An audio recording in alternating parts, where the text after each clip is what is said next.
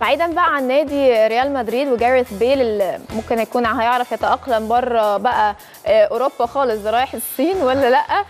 كمان عندنا يورجن كلوب المدير الفني لفريق ليفربول بيحاول يتأقلم مع فترة الإعداد للموسم الجديد واللي وصفها بالغريبة ووعد مانشستر سيتي بمفاجأة.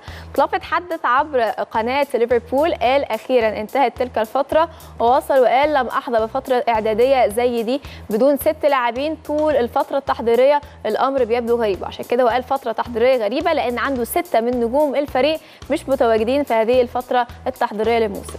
كمان كمل كلامه وقال بكرة سوف يصل بعض منهم وكان هيكون الأمر أفضل لو لو ده تم بشكل مبكر لكن الأمور مشيت على الشكل ده.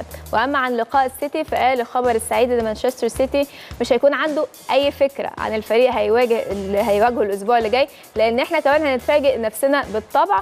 وكمل كلامه وقال إن هو أكيد بيتمنى إن هو يأدي مباراة قوية. أما عن نادي بقى ليفربول وفترته الاستعدادات اللي بيقوم بيها قبل انطلاق الموسم فخسر أمام فريق نابولي بثلاث أهداف مقابل لا شيء وفي أكيد في مباراة ودية.